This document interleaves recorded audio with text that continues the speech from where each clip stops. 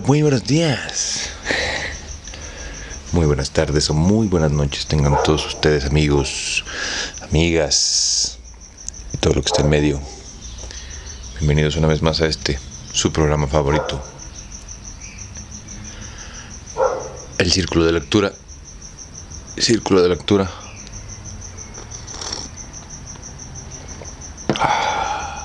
Y estamos aquí reunidos para continuar con nuestra lectura de Jurgen Kuczynski, La evolución de la clase obrera.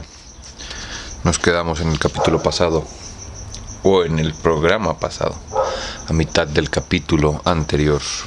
Ah, puras pendejadas estoy diciendo la. Nos quedamos en la mitad del capítulo número 3, la clase obrera, su forma de pensar y de actuar. Así que sin más por el momento te doy la bienvenida, te doy las gracias por venir otro día más a este proyecto de resistencia cultural. Y sin más por el momento ni preámbulos que no te importan, continuemos. Comienzo de la organización. Estas circunstancias obligaron a vegetar a millones, a millones, y su existencia sin objeto era solo ocasionalmente interrumpida con orgías animadas por el alcohol. Lo más asombroso de todo es que todas es que por todas partes se formaran grupos de obreros.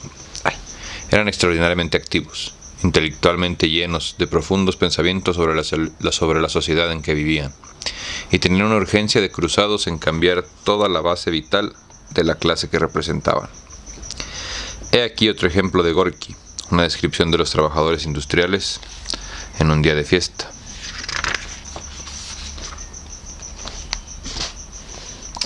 Por la tarde pasean por las calles, los que paseen botas de agua, se las ponen aunque el suelo esté seco. Y los que tienen paraguas lo llevan aunque haga buen tiempo. Cuando encuentran a sus amigos hablan de la fábrica y de las máquinas, y se quejan del capataz. Piensan y hablan solo de cosas relacionadas con su trabajo. De vez en cuando destellos aislados de pensamiento impotentes y vacilantes penetran la triste monotonía de sus vidas. Cuando los hombres llegan a casa riñen con sus mujeres y a menudo las golpean brutalmente. La gente joven frecuenta las cantinas o se reúnen unos en casa de otros donde tocan el acordeón, cantan canciones groseras y obscenas, bailan, juran y se emborrachan. Agotados como están el licor pronto se les sube la cabeza mientras una irritación morbosa e incomprensible se encona en sus pechos exigiendo salida. Por esta razón aprovechan la menor oportunidad para dar rienda suelta a sus sentimientos, lanzándose unos contra otros con bestial ferocidad a la menor provocación. El resultado eran luchas sangrientas que a veces terminaban con heridas graves y otras en muertes. Un sentimiento de maldad dominaba sus relaciones humanas, y este sentimiento era tan viejo como el cansancio incurable de sus padres, de sus músculos, perdón. La gente nace con esta enfermedad espiritual, heredada de sus padres, y les acompaña con una negra sombra hasta la tumba, obligándoles a cometer actos repulsivos en su insensible crueldad. Después de llevar esta vida 50 años, el hombre muere.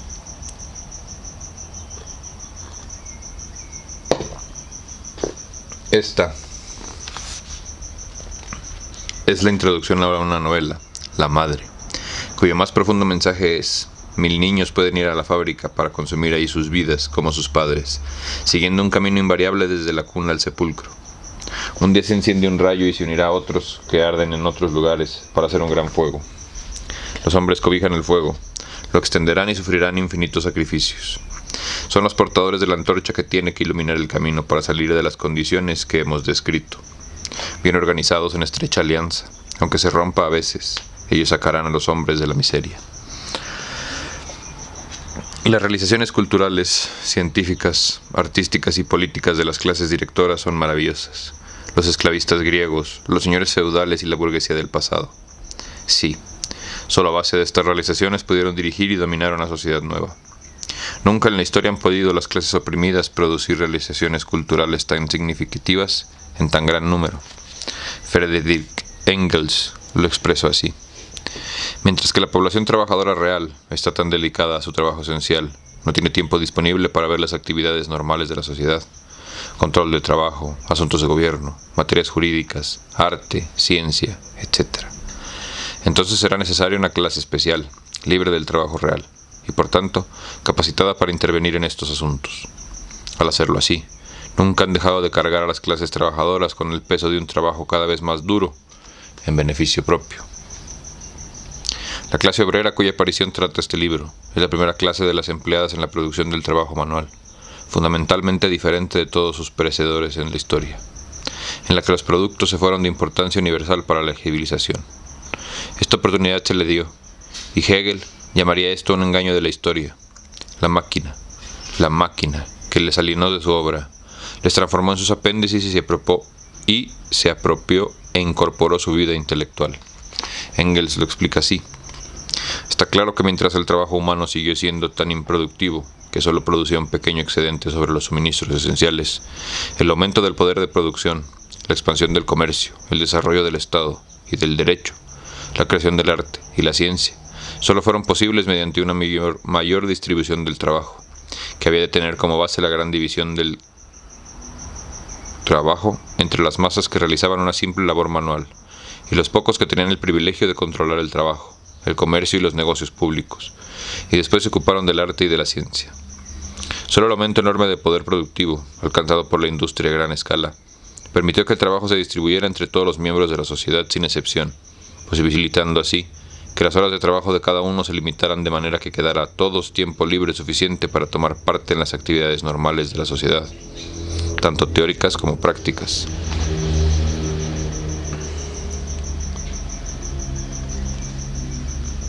Fue la máquina la que hizo tan alta, la que hizo posible tan alta productividad del trabajo. También fue la que condujo a una intensidad creciente del mismo. Y fue esta creciente intensidad del trabajo la que obligó al patrón objetivamente por razones fisiológicas, a cortar las horas de trabajo y ceder ante los obreros que luchaban por, por la reducción de la jornada. La combinación de razones fisiológicas y luchas de obreros condujeron a disminuir las horas del trabajo al final del periodo que estudiamos. Por ello, dieron a las clases trabajadoras la oportunidad de iniciar su gran papel en la sociedad.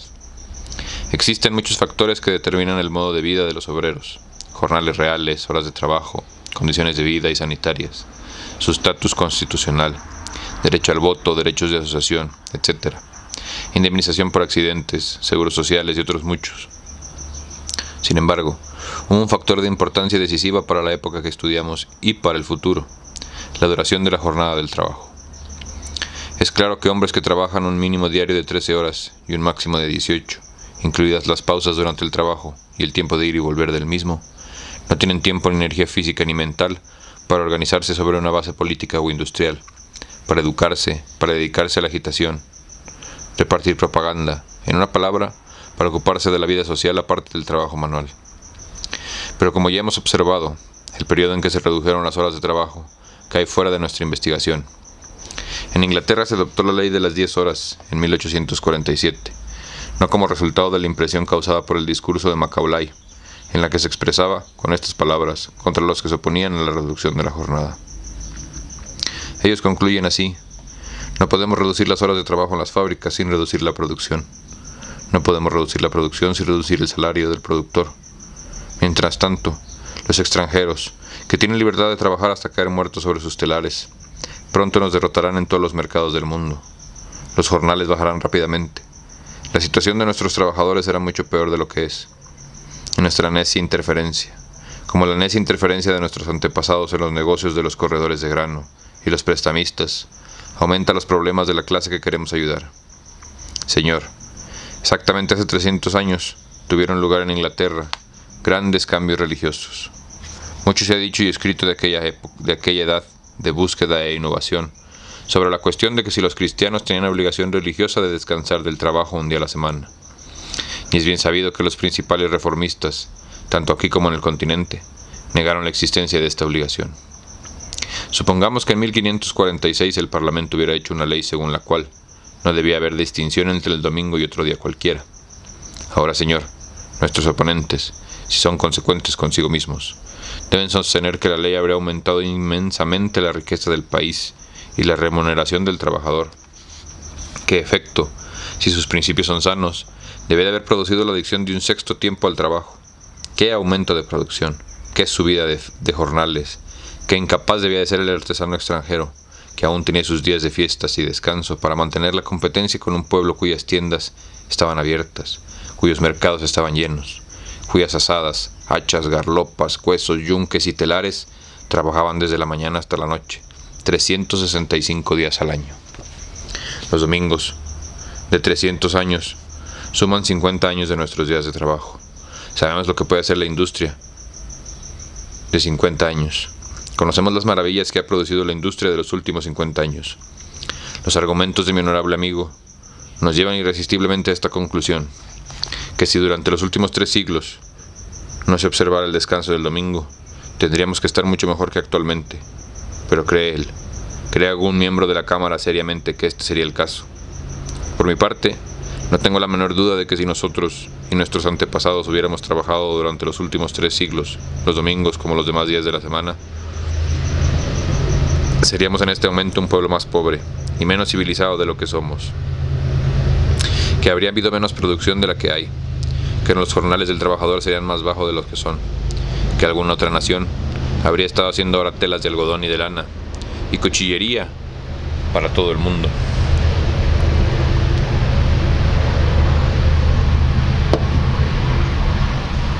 En Francia empezó la reducción de la jornada de trabajo con la Revolución de 1848. En Bélgica y Holanda, por la misma época. En Alemania poco más tarde, y aún más tarde en Italia y Austria. Puede decirse que en los años 1850, la lucha por la reducción de las horas de trabajo adquirió una importancia cada vez mayor. Así, por ejemplo, en Alemania, los porcentajes de todas las huelgas relacionadas con horas de trabajo son los siguientes, tanto aisladamente o al mismo tiempo de los jornales. 1850, 57, 7.6 por 100. 1858, 66, 13 por 100. 1867 al 70. Ah, qué güey, ya le entendí. 17.6 por 100. en los Estados Unidos la lucha por la reducción de la jornada de trabajo fue sostenida por el Sindicato de Ingenieros y Herreros en un congreso anual de Boston en 1863 con la siguiente declaración del principal objetivo del movimiento obrero. Y, perdónenme, es para ver si están poniendo atención. Acordamos que de este a oeste, de norte a sur, el cambio más importante para nosotros obreros, a todos los que además está subordinado, es una reducción permanente a 8 horas de trabajo exigidas cada día. Acordamos que una reducción de horas es un aumento de jornal. Acordamos que una reducción del número de horas por cada día de trabajo sea el punto cardinal al que debe dirigirse nuestro movimiento. Que lo que hacemos en la inteligencia de que no es antagónico por el capital, mientras que al mismo tiempo confiere a nuestra causa la dignidad y el poder de una gran forma de una gran reforma moral y social, que es en todas formas digno de la simpatía y cooperación de los pensadores más progresistas y liberales de la época. Y que ha llegado el tiempo de comenzar una agitación completa y sistemática de este punto cardinal en el gran problema de la reforma laboral. Así, la cuestión de las horas de trabajo iba a ser, imagínate, güey, espérame, paréntesis cultural. ¿Cuántos todavía trabajamos ocho horas? Bueno, yo no porque soy maestro, pero, ¿no? Sí me ha tocado trabajar turnos de 8 hasta de 12, güey. Em, y se estipuló, o se estaba peleando en 1863, güey. O sea, hace 280 años, 260 años. Que alguien por favor me explique cómo es que vivimos en el futuro y no vivimos atorados en esa época con espejos en la mano interactivos. Ah, Así, la cuestión de las horas de trabajo iba a ser la única en la que se concentraban todas las energías del movimiento obrero, acordando la jornada laboral, los sindicatos creían que podían abolir todos los males que sufrían los obreros. Ja. Creían en la posibilidad de elevar el nivel de los obreros reduciendo las horas de trabajo. Creían también que esto no iba contra los intereses del patrón. Un proceso mental subyacía a este argumento. En su panfleto, una reducción de horas significa un aumento de jornales. Ira Stewart argumenta así. Los que tienen que trabajar más duro y más tiempo reciben los jornales más bajos, mientras aquellos cuyo trabajo es más atractivo ganan más por regla general, y muchos que no hacen absolutamente nada ganan aún más. Se puede concluir, pues, que aquellos que trabajan más duro y más tiempo reciben los jornales bajos precisamente porque su trabajo es tan largo y duro. Los que trabajan demasiado duramente están tan agotados y exhaustos que no desean más que satisfacer sus necesidades físicas. Por otra parte, Los que trabajan menos tienen tiempo para cultivar sus gustos y desean cosas que sobrepasan sus necesidades puramente materiales. Los que trabajan tan duro y durante tanto tiempo no pueden ser, no pueden ser inducidos a pedir jornales más altos porque no les quedan fuerzas, ni tiempo, ni deseos. Pensemos en un hombre que trabaja 14 horas al día. No tiene tiempo para bañarse, escribir cartas, cultivar flores, tener invitados o contemplar obras de arte. Para él, su vivienda significa comer y dormir. Por otro lado, un hombre que trabaja solamente ocho horas al día tiene mucho más tiempo a su disposición. Mi teoría es, número uno, más tiempo libre llevará a la gente a común a exigir salarios más altos. No es cierto. Número dos, si todos exigimos salarios más altos, no habrá motivo para rehusárnoslos. Cositas. Pues todos los empresarios se verán en el mismo caso. Número 3. Si todos exigen salarios más altos, no se podrá rechazar esta exigencia. Número 4. La resistencia llevará al desatino de una huelga de los propios empresarios contra el poder más fuerte del mundo, es decir, contra las costumbres, hábitos y opiniones de las masas. 5. El cambio de los hábitos y opiniones de la gente producidos por el más tiempo libre serán demasiado lentos para poder alterar o dificultar el comercio o el capital. 6. El aumento de jornales sería a costa de los despilfarros de la sociedad en sus crímenes, su pereza, modas y monopolios, como los provechos más legítimos y honorables del capital, en la producción y distribución de la riqueza. Y la teoría significa que, como el costo de producción de un artículo depende casi por completo del número de artículos producidos, hay un aumento práctico de salarios tentando, a los obreros con su nuevo tiempo libre a unirse a la compra de objetos de lujo, hasta ahora limitados a los ricos, y que son caros porque los compran ellos solamente.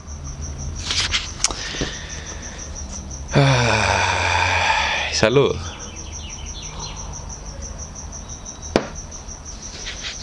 Ni para qué nos peleamos, peleamos, pero sí creo que vale la pena eh, marcar o hacer notar que en 250 años, vamos a decir, años más, años menos, Mm. aquí todo sigue igual. Como cuando estabas tú, ya lo rompí. bueno, ahora sí que ya le abrí sus piernas de más.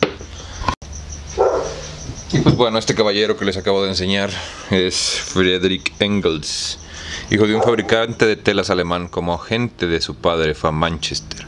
Ahí conoció a Marx, apoyó el monumento cartista y reunió material para su situación de las clases obreras en Inglaterra en 1844. Su colaboración con Marx también empezó en 1844 y no terminó hasta la muerte de Marx. Pero creo que sí es importante que marquemos como sociedad un punto en el que nos damos cuenta, en el que nuestros derechos laborales se pelearon hace 250 años, güey. Eh, si me entiendes? O sea, ¿Y cómo es posible que pensemos que nuestra sociedad actual sigue regida o sigue bajo las mismas reglas que hace 250 años? Que el conocimiento que se tenía, que la información que se tenía, que... Güey, verga, la calidad humana que se tenía, ¿no? Al final, el motivo principal que iniciamos este canal es porque el que no conoce su historia está condenado a repetirla y aquí lo estamos viviendo. El obrero que no conoce su historia está condenado a trabajar ocho horas al día por el resto de su perra vida. En relación con el punto 7 también esperaba Stuart que una jornada de trabajo reducida eliminaría la corrupción capitalista mediante el control de la literatura, de la política y de la prensa diaria del país, pues con un horario de trabajo reducido crecería enormemente la demanda literaria de los obreros, y los autores ya no dependerían de los deseos del patrono. en 1863 nació en los Estados Unidos una teoría de este tipo.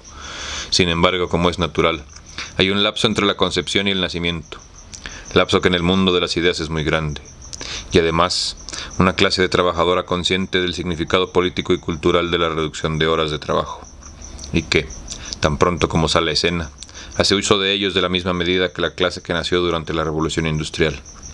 Debe ya contener en sí el germen de su papel en la sociedad y empezar, el desarrollo, y empezar a desarrollarlo, particularmente si esta clase tenía, hacia 1850, auxiliares tan destacados entre la burguesía y la pequeña burguesía, como los radicales utópicos y sobre todo Marx y Engels. Si conceptuamos, si exceptuamos los esclavos de la antigüedad, que frecuentemente procedían de todos los rincones de la tierra, y por tanto no podían comprender el lenguaje de unos de otros, la gente que trabajaba con sus manos siempre ha estado organizada de una u otra manera, pero siempre estuvieron divididos para fines prácticos por su posición dentro de la sociedad, y tenían objetivos completamente distintos. Sucedió de otra manera bajo el capitalismo, que creó para sí un ejército de un millón de trabajadores manuales con los mismos intereses. Sí, SEE, e, no sé qué sea, creo que es un autor, lo voy a buscar, déjenme lo apunto.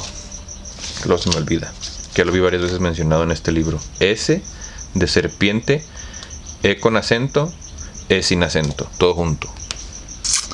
En su obra sobre los orígenes del capitalismo moderno decía, el efecto de la gran industria capitalista, tanto en Francia como en Inglaterra, fue crear un vacío insalvable entre patronos y obreros. De aquí que la clase obrera fuera más claramente consciente de sus intereses comunes, lo cual había sido imposible para ellos en la época en que maestros y oficiales habían llevado casi el mismo género de vida. No había existido una división tan neta entre las distintas clases industriales. Los trabajadores iban a organizarse para defender sus intereses de clase, y mucho antes, en Inglaterra que en Francia porque esta evolución se había producido mucho antes y había afectado a un número mucho mayor de gente. Ya no se trataba ahora, como en 1789, del problema agrario, sino de la cuestión laboral que reclamaba la atención. Naturalmente, los obreros industriales no fueron los primeros en formar sus sindicatos y sociedades de solidaridad. Oigamos, por ejemplo, lo que dice Hot sobre los primeros sindicatos ingleses. A finales, perdón, a finales del siglo VIII. Habían empezado a arraigar sociedades profesionales en la forma de clubs locales, que generalmente se reunían en las tabernas y ofrecían en un carácter social notorio. El licor era el elemento importante en los gastos oficiales. En su mayor parte, estos clubs se habían desarrollado entre la aristocracia artesana, los artesanos calificados cuyos métodos de trabajo y condiciones habían dejado intactos la revolución industrial. Estaban compuestos por toneleros, carpinteros, ebanistas, mueblistas, carpinteros de ribera, papeleros, etc. Estas organizaciones nada tenían aún que ver con las asociaciones de clase obrera industrial. Sin embargo, Hot concluye así sus observaciones sobre este punto. Pero a partir de 1792, empezaron a extenderse entre la sección más importante de los nuevos obreros industriales, los hiladores de algodón de Lancashire y esta amenaza potencial para los empresarios capitalistas se unió al pánico producido entre la clase dirigente por la Revolución Francesa, preparando el camino para que el Parlamento aprobase apresuradamente en 1799 1800 las leyes anti-unionistas. Está muy cachondo. Ciertamente hubo grandes diferencias entre estos dos tipos de organización, el punto importante es que las leyes contra las organizaciones se aprobaron en 1799 y después de una forma más moderada, gracias a la oposición dirigida por el famoso actor dramático Sheridan, en 1800 se dirigieron con mucha mayor dureza contra los obreros industriales que contra artesanos, tejedores domésticos y otros. Así se comprende que William Lovett, cordelero y ebanista, puede decir en su autobiografía que, cuando vino a Londres durante la vigencia de las leyes antiunionistas, antiunionistas en 1819, no pudo encontrar trabajo en su oficio sin hacerse miembro de un sindicato, mientras que los webs opinan en general. Creo que si algo podemos estar, paréntesis cultural, de acuerdo en este canal, es que el gobierno siempre ha sido de la industria privada. Y a lo mejor nos tardamos un chingo de años en darnos cuenta, pero aquí estamos porque acá fue donde nos puso la vida. Sabiduría popular mexicana. En lugar de la resistencia organizada de los artesanos contra su sumisión, observamos en, observamos en las industrias fabriles estallidos alternantes de roturas de máquinas y tumultos con intervalos de completa sumisión en competencia mutua por lograr un empleo. Las leyes de prohibición tuvieron como consecuencia que las organizaciones existentes en las fábricas como también entre los trabajadores artesanos de Londres, el que se concentrara un gran poder en manos de pocas gentes. Estos caudillos eran obedecidos sin condiciones en tiempos de conflicto laboral, pero las repetidas derrotas, que eran incapaces de evitar, impedían que creciese la confianza indispensable a toda agitación permanente. ¿Saben? Perdónenme por interrumpir tanto la lectura, pero ¿saben quién era un... Eh, ¿Quién salió del movimiento obrero? Un señor que se llama Adolfo y tenía un bigote muy interesante. Engels dice este propósito, quizá con demasiado pesimismo. La historia de estas asociaciones es una larga serie de derrotas de los trabajadores ininterrumpidas por algunas victorias aisladas. No solo la organización entre los obreros de las fábricas era mucho más difícil, porque estos procedían de niveles muy diferentes, y además no eran más que obreros temporeros, o al menos ellos lo creían así. Además, la causa principal de las dificultades casi insuperables era que el personal estaba constituido en gran parte por mujeres y niños. Sin embargo, solo tenemos que considerar la situación en Inglaterra, en una época en que la mayor parte de los obreros industriales eran mujeres y niños. Las mujeres tomaron parte en muchas huelgas. La primera fue probablemente en la de los tejedores de Pawtucket, Rhode Island, en 1824. Muchas huelgas fueron incluso dirigidas casi exclusivamente por mujeres, porque hubo sindicatos y otras organizaciones similares a las que pertenecían solamente mujeres.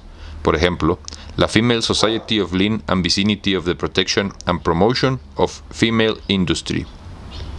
La Sociedad Femenina de Lean y, sus vecinidades para la protección y promoción de la industria femenina.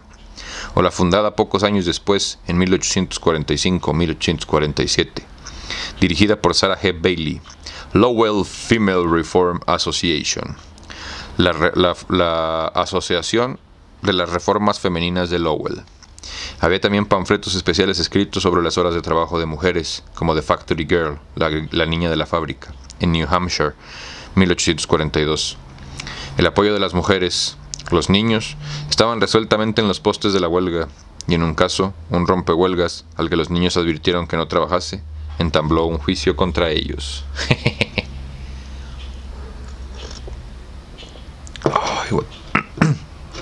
en los recuerdos de que un obrero hay un pasaje sobre la huelga en que las mujeres eran los principales participantes. Sin mujeres no hay revolución, mis vatos. Sin revolución no va a haber mujeres. Si se las dejo. Una de las primeras huelgas que tuvieron lugar en este país fue en Lowell, en 1836, cuando se anunció que se iban a bajar los sueldos. Se produjo una gran indignación y se decidió ir a huelga en masa. Se hizo esto. Las fábricas fueron cerradas y las muchachas fueron desde sus asociaciones, desde sus asociaciones en procesión al bosque de Chapel Hill y escucharon discursos incendiarios de algunos de los primeros reformadores laborales. Una de las muchachas subió a una bomba y dio rienda suelta a los sentimientos de sus compañeras en un discurso declarando que era su deber resistir todos los intentos de rebajar los salarios. Esta fue la primera vez que una mujer habló en público en Lowell, y el hecho causó sorpresa y consternación ante el auditorio. Una muchacha de 12 años había dirigido el paro de la sección en que trabajaba. 12 años, güey. O sea, una niña de 12 años había dirigido un paro de donde trabajaba. ¿Mm? Aguas. 1800, Estados Unidos. Aguas. En los Estados Unidos no había una ley oficial, como en Inglaterra, que prohibiese las asociaciones obreras, pero en la práctica, los pronunciamientos legales a menudo reducían a la nada toda posibilidad de que funcionase. Sin embargo, entre 1806 y 1815, los zapateros de Filadelfia, Nueva York, Baltimore y Pittsburgh fueron seis veces procesados y sentenciados por conspiración criminal. Bajo la presión de las masas, los años siguientes presenciaron la elección de jueces progresistas en Filadelfia y Nueva York.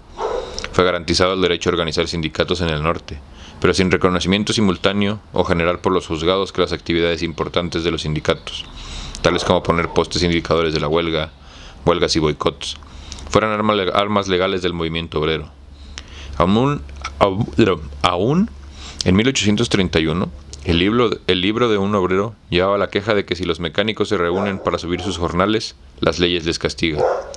Pero las leyes han hecho justo y meritorio el que los capitalistas se reúnan para despojar al trabajador de sus ganancias. Una vez más, la ley está al servicio del capital, no del obrero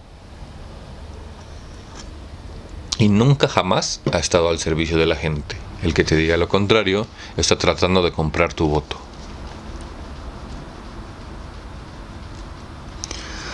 En parte, los niños de la industria estaban sujetos a leyes especiales, particularmente si eran aprendices. La huelga de los estampadores de, de percales en Chemnitz en 1823, por ejemplo, fracasó. Y no en último lugar porque tanto los propietarios de factorías como los maestros de los aprendices dijeron a estos que sus cartas de trabajo se anularían y perderían el empleo si tomaban parte en la huelga. Y el Consejo de la ciudad les amenazó con encarcelarles si no trabajaban. Como los aprendices formaban el 15% de los trabajadores, eran gente enormemente importante. A principios del movimiento obrero, especialmente es difícil distinguir entre organizaciones económicas y políticas, tales como sindicatos y partidos. Los sindicatos, por supuesto, siempre tuvieron metas políticas y los partidos fueron son inconcebibles sin un programa económico. Por otra parte, después de 1850, fue ciertamente posible diferenciar entre sindicatos que no tenían una ideología política peculiar para los obreros y los partidos imbuidos de ideologías políticas del tipo superior. Pero antes de esta fecha, cuando los diferentes tipos de organización aún no estaban claramente delimitados, era realmente difícil. Existe además una gran variedad de motivos de ideologías que a menudo solo tenían en común el odio del presente, así como el deseo de crear un futuro mejor aquí en la Tierra. Esto ha sido muy bien ilustrado por Hobsbawm, aunque omite destacar el significado de las distintas ideologías. Cámara Hobson. El movimiento obrero fue una organización de autodefensa, de protesta, de revolución. Pero para el pobre trabajador era más que un arma de lucha. Era también un modo de vida. La burguesía liberal no les ofrecía nada. La historia los apartaba de la vida tradicional que los conversadores, que los conservadores ofrecían en mano, o mantener o restaurar. Perdón. Tampoco tenían mucho con el tiempo de vida que habían entrado ahora, pero el movimiento, o más bien el modo de vida que ellos forjaban para sí, colectiva, comunal, combativa, idealista y aisladamente, había implicado el movimiento, porque la lucha era verdaderamente era su verdadera esencia, y a su vez el movimiento le dio coherencia y fines. El mito liberal suponía que los sindicatos estaban compuestos de trabajadores incapaces, instigados, instigados por agitadores irresponsables, pero en realidad los incapaces eran generalmente los menos indicados, y los obreros más inteligentes y competentes, el más firme soporte de esta unión. Los ejemplos más desarrollados de estos mundos del trabajo, en este periodo, eran probablemente aún los de las viejas industrias domésticas. Había la comunidad de obreros en la, sede, en la seda de Lyon, los siempre rebeldes Canuts, que se levantaron en 1831 y después en 1834, y que en frase de Michelet, porque en este mundo no lo era, se hicieron otro en la húmeda oscuridad de sus callejuelas. Un paraíso, moral de dulces sueños y visiones. Había comunidad como la de los tejedores, de lino escoceses con su puritanismo republicano y jacobino, sus herejías de, de Swedenborg y su biblioteca del artesano, su banco de ahorros, instituto de mecánica, club de biblioteca y científico, su academia de dibujo, sus reuniones misionales, sus ligas de las buenas costumbres y escuelas infantiles, su sociedad de las floristas y revista literaria, el de un Fermine Gastómeter. Por supuesto, su chartísimo, la conciencia de clase, la disposición para la lucha, el odio y el desprecio del opresor, formaban parte de su vida. Lo mismo que los telares en que tejían estos hombres. No debían nada a los ricos, excepto sus jornales. Lo que tenían en la vida era su propia creación colectiva. Pero este proceso espontáneo de autoorganización no se limitó a los obreros del viejo tipo. Se reflejó en la unión, a menudo basada en la comunidad local, metodista, primitiva, en las minas de Northumberland y Durham, y se refleja en la gran concentración de sociedades mutuas de obreros en las nuevas áreas industriales, especialmente en el Lancashire.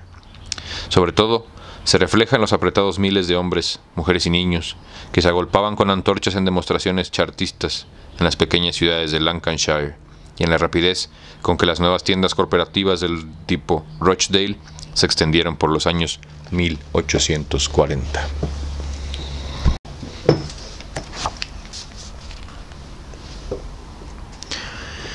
El movimiento laboral en Inglaterra fue naturalmente más amplio. Hubo movimientos que continuaron durante años, como el de los chartistas, que comprendía revolucionarios y reformadores, y enviaron una petición al Parlamento con un millón de firmas por una reforma, del derecho electoral, y que también decidieron una huelga general en su convención del 5 de agosto de 1839. Que por las noticias que han llegado a este Consejo de distintas partes del país, somos de opinión unánime que el pueblo no está preparado para llevar a cabo el mes sagrado, 12 de agosto.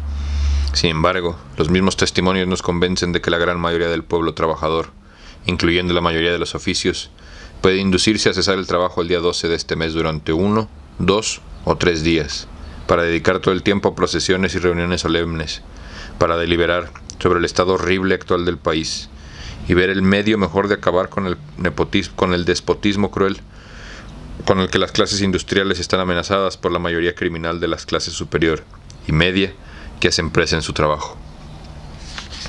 No había aún movimientos como este en otros países.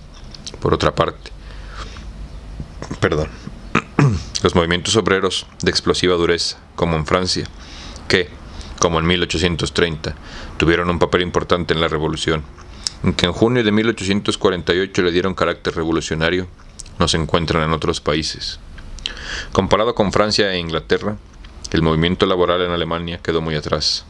Engels afirma en su ensayo sobre la historia de la Liga Comunista, al discutir la situación a finales del periodo que estudiamos. Entonces uno tenía que escoger los obreros separadamente que fueran capaces de entender su condición de tales y su antagonismo histórico y económico frente al capital, porque este mismo antagonismo empezaba entonces a ser comprendido. En los Estados Unidos, el movimiento obrero político fue como en Alemania, extraordinariamente débil, y no poco a causa de que las fronteras de clase estaban, eran aún mucho más fáciles de cruzar. La democracia estaba desarrollada con mucha mayor intensidad que en Europa. Mientras tanto, una parte importante empezó a ser desempeñada por las organizaciones sindicales de carácter local y nacional. Y todas estas organizaciones fueron creadas por gentes que raras veces tenían más, y a menudo menos, que lo estrictamente necesario para vivir, que trabajaban todo el día desde el amanecer hasta la noche, que frecuentemente, mucho más en el invierno. Cada hora de agitación y de propaganda les privaba una hora de sueño, siempre insuficiente, y amenazados por el poder supremo del Estado las autoridades locales y la tiranía de sus patronos de la factoría o de los propietarios, con la prisión o trabajo duro, la pérdida de su empleo y la negativa de cualquier otro empresario, o con transportarlos a las colonias. Muchos de estos primeros héroes y mártires del movimiento obrero eran políticos analfabetos y filósofos de considerable importancia.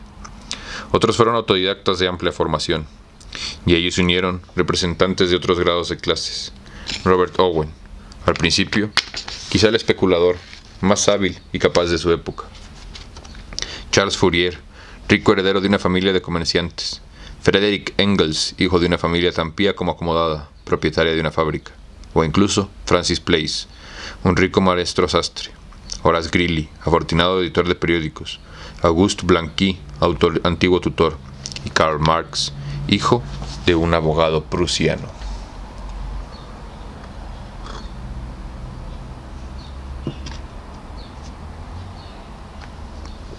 Robert Owen fue un próspero propietario de una factoría que introdujo mejores condiciones de trabajo y alojamiento para los obreros, mejor esperanza para los niños de la localidad, siendo un, pionero de la instrucción de los adultos. También desarrolló un orden social nuevo, basado en la cooperación en vez de la competencia, que llamó la atención del resto de Europa y en los Estados Unidos. Aún después del fracaso de sus experiencias prácticas, siguió creyendo en la derrota inmediata del capitalismo y en la introducción de un nuevo orden moral.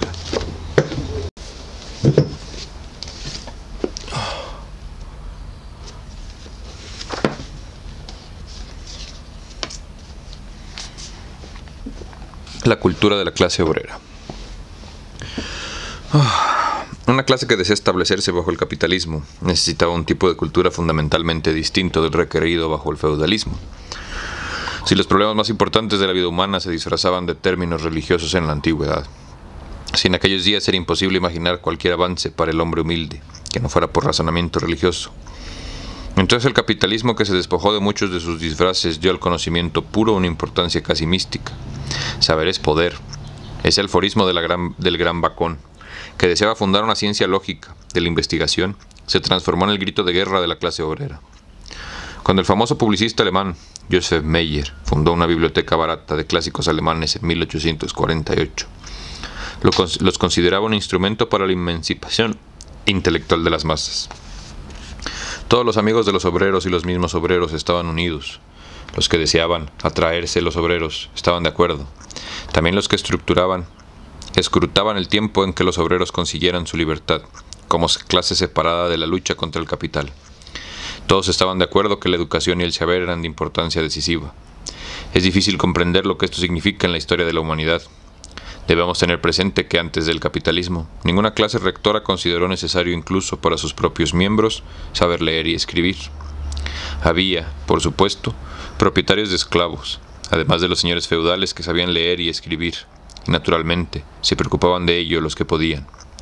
Pero incluso como analfabetos, podían cumplir su función histórica. No así la burguesía ni tampoco el capital. Y ahora, la clase oprimida, la clase oprimida pedía saber leer y escribir. Hubo naturalmente oposición al principio, y existieron taxes on the knowledge, impuestos sobre el saber, como acostumbraban llamarles los radicales burgueses en Inglaterra. La burguesía tomaba con en serio, y con razón, saber es poder, o tal como alteraba la frase, sin saber no hay poder. Con un solo ejemplo podemos ver el éxito de estos impuestos sobre el saber. El mayor agitador político de Inglaterra, William Cobbett, publicó una especie de periódico en los primeros 30 años del siglo llamado el Political Register, dirigido ideológicamente a la población obrera, que difícilmente podía comprarlo porque costaba un chelín y medio penique, incluidos los impuestos. Pero cuando en 1816 se editó un número especial por dos peniques sin noticias y por tanto no sujeto a impuestos, se imprimieron más de 200.000 ejemplares. Pero ahora, todos los países poseían verdaderos campeones de la clase obrera que defendían la libertad de la palabra, barata, baratura de impresión y la difusión del saber. Uno de los grandes hombres de esta lucha fue Richard Carlyle, que poseía una librería y tuvo que pasar nueve años y medio en distintas cárceles antes de obtener una victoria parcial. Fue una lucha en la que tomó parte su mujer, pero también ella fue encarcelada a pesar de su estado de gravidez su hermana, que ocupó el puesto de la mujer condenada, y todo un ejército de dependientes voluntarios también tomaron parte y fueron sentenciados a un total de entre 150 y 200 años de prisión, o por lo menos hasta la revocación en 1817 de la ley que prohibía la venta de escritos calumniosos y peligrosos para el Estado.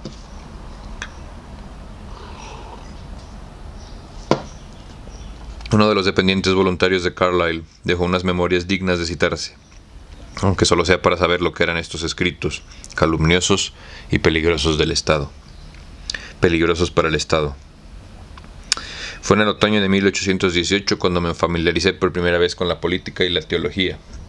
Pasando por Brigate una tarde, vi un anuncio que decía que los reformadores radicales tenían sus reuniones en la habitación de aquel edificio. La curiosidad me empujó a ir y oír lo que pasaba. Los encontré leyendo el Black Dwarf de Buller, el Republican de Charlie y el Register de Cobalt. Recuerdo a mi madre leyendo el Register de Cobalt diciendo que la gente estaba mucho contra él y ella no encontraba nada malo en él. Después de oírlo leer en la sala de la reunión, fui de la opinión de mi madre.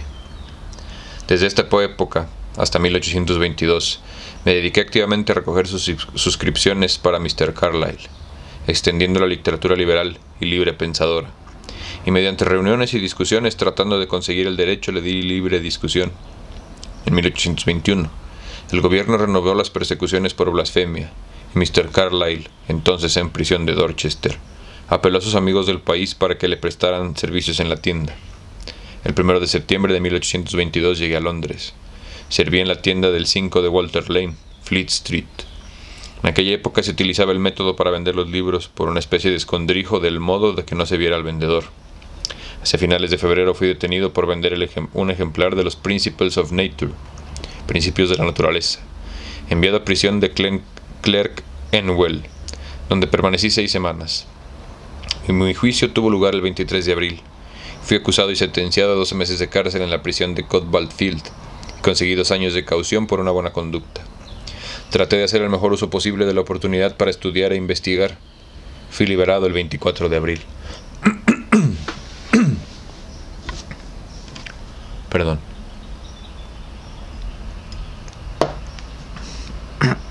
a este lado de bravos, de bravos campeones de la clase trabajadora, existía un grupo dentro de la clase media, cuya meta objetiva, en su propio interés y subjetiva, en que a menudo estaban poseídos en sentimientos humanitarios de amistad, de amistad hacia los obreros. es decir, en ayudar a los obreros a conseguir ilustración con el fin de transformarlos en una pequeña burguesía, completamente integrada en la sociedad, y transformarlos en votantes para los conservadores o liberales, con el fin de dar al grupo unidad política. Una empresa en la que se consiguieron éxitos muy importantes en la segunda mitad del siglo XIX en Inglaterra, pero no tuvieron éxito en Alemania, esfuerzos similares, ni en Francia. Esta era una actitud de paternalismo, en agudo contraste con la actitud de los que no deseaban padres benévolos para la clase trabajadora, sino que deseaban ser independientes. El ejemplo mejor constituido de esta especie de choque fueron las batallas por los llamados institutos de mecánicos o de trabajadores de Inglaterra. Estos últimos, hacia 1850, en número de unos 700, disponían de 100.000 miembros y más de, 700.000 libros en sus bibliotecas. Sin embargo, apareció un tercer factor en los problemas de estos institutos, particularmente en los primeros días de su fundación, factor del mayor interés sociológico. Estos institutos intentaban transformar los obreros expertos en inventores, maestros en ciencias, que como sus abuelos, a principios de la revolución industrial, ayudaran al adelanto del progreso técnico, contribuyeran al continuo desarrollo de las fuerzas de producción como si no hubiera realmente clases, la pasión ciega por un desarrollo provechoso de las fuerzas de producción, la falta de familiaridad en el trato con barreras de clase impersonales, fueron posiblemente los motivos originarios que llevaron a la burguesía a implantar estos institutos. El primer instituto creado fue el Instituto de Mecánica en Londres, en 1823. Rápidamente surgieron otros. En 1825, solo en el West Riding, había institutos en Bradford, Keighley, Wakefield, Dewsbury, Halifax, Huddersfield, Skipton y Richmond. Se daba instrucción principalmente en los campos de las ciencias naturales, química, física, matemáticas, mecánica, etc. La meta de estas instituciones se definía así.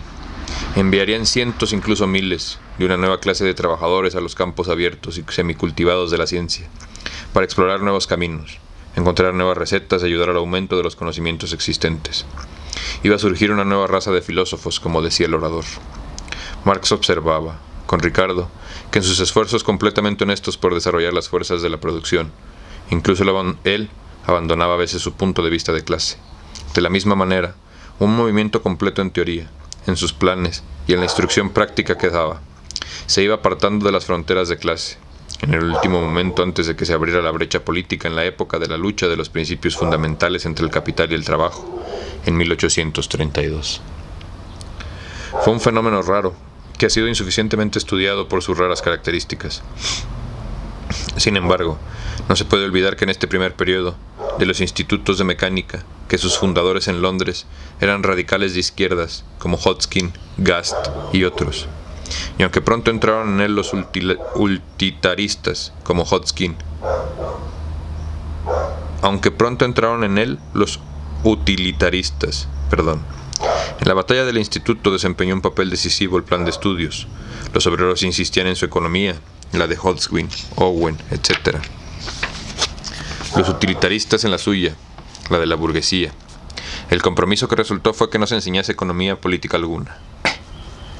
En 1849, estos institutos estaban casi todos en manos de la clase media, aunque las batallas continuaban y los obreros trataban de librarse de la tutela burguesa. Por ejemplo, en Nottingham, en 1849, abandonaron gradualmente el instituto y formaron su propia biblioteca del obrero. No obstante, quien quiera que controle estos institutos, no hay que olvidar una cosa. La actitud de la mayor parte de la sociedad hacia la educación de los obreros se expresa con exactitud por un clérigo progresista. Robertson cuando decía, existe aún entre la población, muy pobre, en Winchester, de tres o cuatro mil, mucha incredulidad e inmoralidad, hijas de un largo abandono.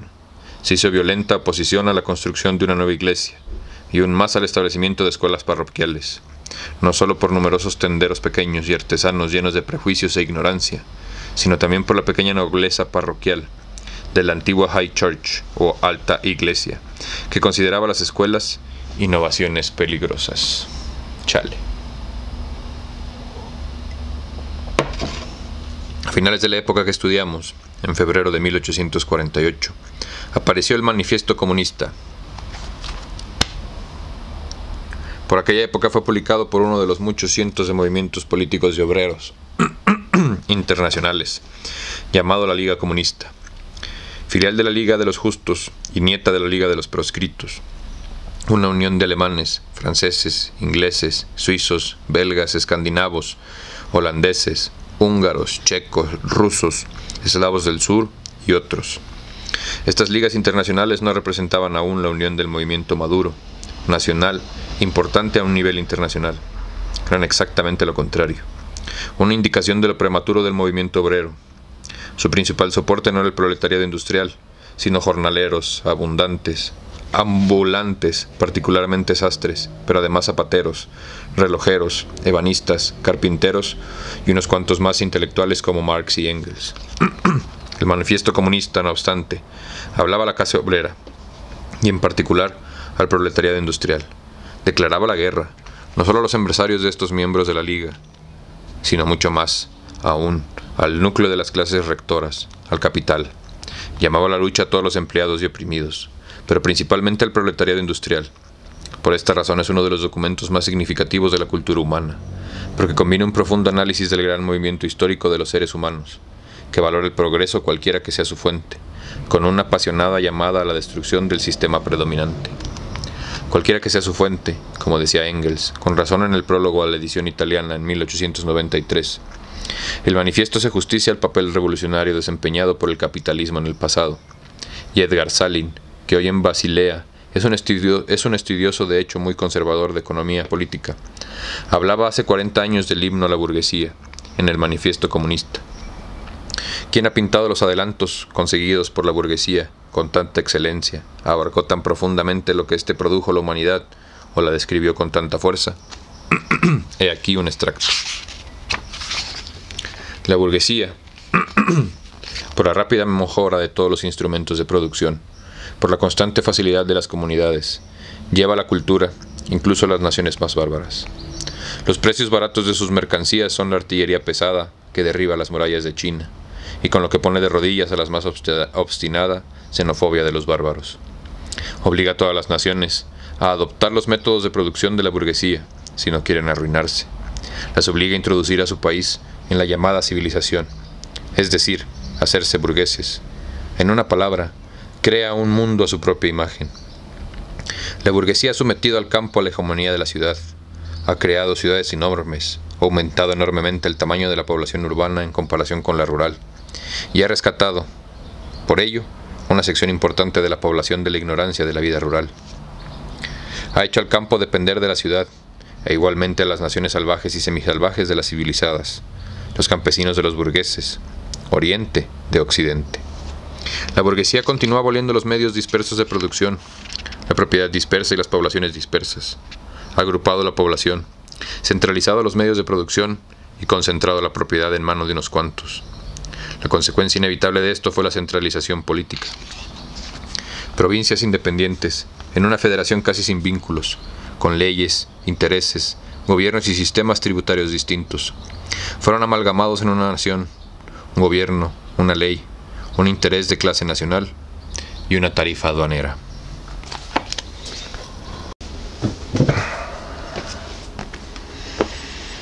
Hmm. Hijo perra. La burguesía.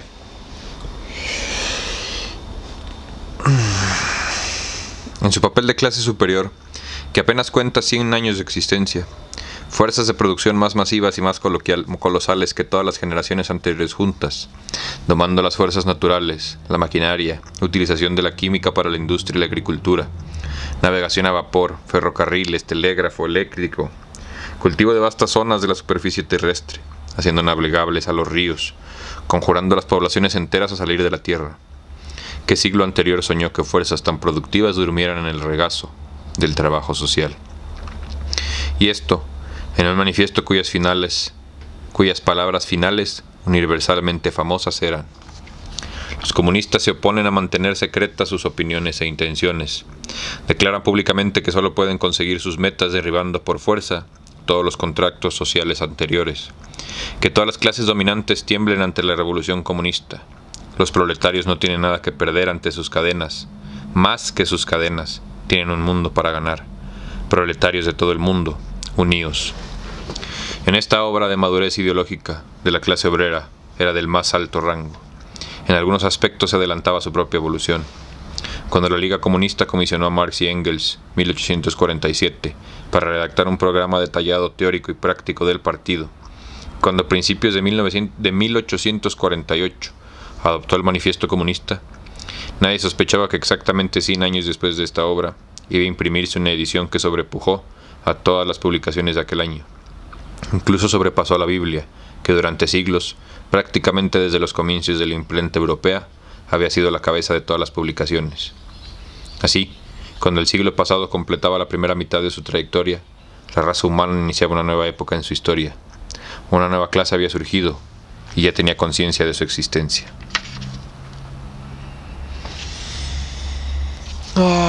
con esa frase vamos a terminar el capítulo de hoy. Sí, creo que hay bastantes cosas que podemos medio platicar, comentar. Hablé conmigo mismo el otro día y, y quedé de ya no interrumpir tanto las lecturas con mis comentarios perspicaces y si no tratar de hacerlos al finalizar el capítulo, ¿no? Aunque lo estoy pensando, ¿eh? Porque así soy yo y si les gusta. Y si no, ahí hay un chingo de canales donde la gente nada más hace así como que le pendejadas. Este. Y bueno, número uno, me parece importante que marcar, platicar que el surgimiento de esta famosa clase obrera eh, no nace como algo natural sino nace como algo creado con fines económicos. Y como al final eh, regresamos a lo que platicábamos un poquito en el capítulo pasado de nos sacaron de ser seres naturales de esta tierra para convertirnos en esclavos, güey, en obreros, o más bien otra manera u otra teoría que estamos en este taller formando es bueno, para empezar, yo siempre desde muy morrillo he pensado que nunca salimos de la Edad Media. ¿No? Que en realidad solamente nos han estado dando tole con el dedo y seguimos en un proceso similar. Eh, que inclusive la llegada del internet a nuestra generación o inclusive aplicaciones como la que no le gusta a YouTube que mencionemos, que es un iconito negro con una T y una TOC, eh,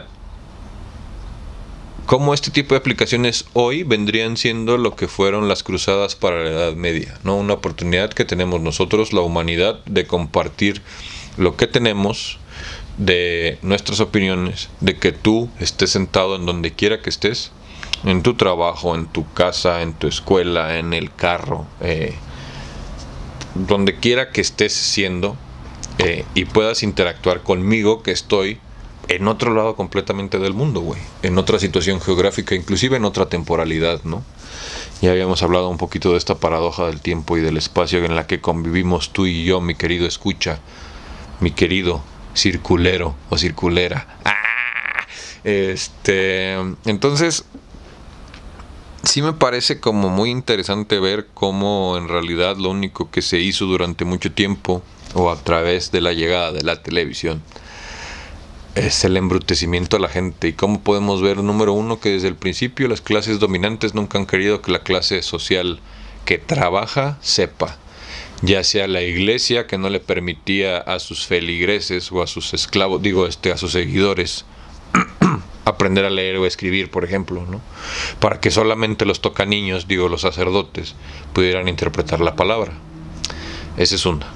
Eh, de ahí brincamos a esta nueva época, ¿no? La famosa revolución industrial, donde llega la industria y quita al clero del gobierno. Y entonces empieza a poner la industria a su gente, que es lo que nos viene pasando en nuestro sistema político actual. Digo, déjense de mamadas. Donald Trump es un empresario, güey. Lo puso la industria. Si me entiendes, en México, el mejor país del mundo, eh, ¿cuántas veces nos han vendido que un industrial va a ser un buen gobernante, porque al final un país es como una empresa. Pues sí, güey, si te dedicas a robar, que es al final a lo que se dedica la clase política. Y cómo al final ha ido como en una decadencia de, o más bien así, ¿no? Las gráficas de la burguesía, cómo ha ido descendiendo y descendiendo, descendiendo su, calidad moral, su calidad intelectual. Eh, viven en una burbuja muy rara ahora. Yo creo que todos la podemos ver. Y cómo también la burbuja social de la clase media, siempre en ascenso hasta abajo, que es la misma clase, nada más que con diferentes marcas de ropa. Eh, cómo también esta burbuja se ha ido rompiendo, ¿no? Cómo hemos ido descubriendo que por medio del aspiracionismo nunca vamos a llegar a ningún lado. Cómo hay que chingarle bien machín todos los años para que el patrón se vaya de vacaciones. Cómo pasan los años y el salario no aumenta, pero sí los precios.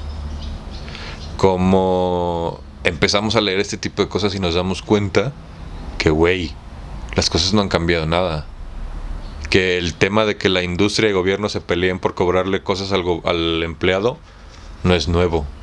Pero hoy por hoy sí vivimos en un sistema socioeconómico político en el que todavía la industria privada decide muchas de las cosas que pasan en nuestro gobierno o en nuestro país, güey. O sea, para acabar pronto, ¿cómo creen ustedes que se definen las cuestiones universitarias, estos títulos de pertenencia obrera.